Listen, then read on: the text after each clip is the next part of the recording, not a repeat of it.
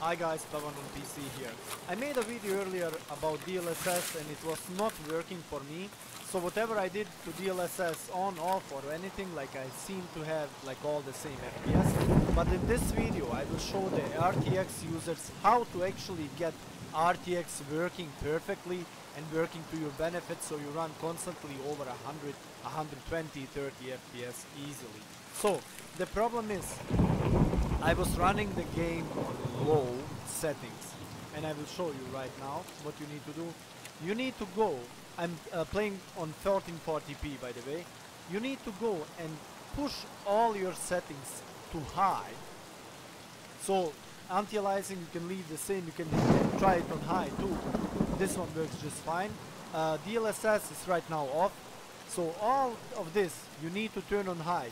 You need to make your RTX graphics card work. If it's running under, you see my graphic card is right now running at 97% util utilization.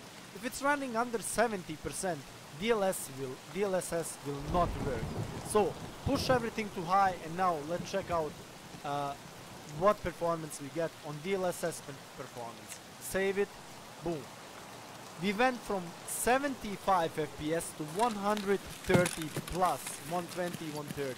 It depends on where we are, but we are getting at least like 50, 60 FPS more, which is absolutely mind-blowing. Like, never this FPS-wise, Tarkov has never been more smooth than it is right now.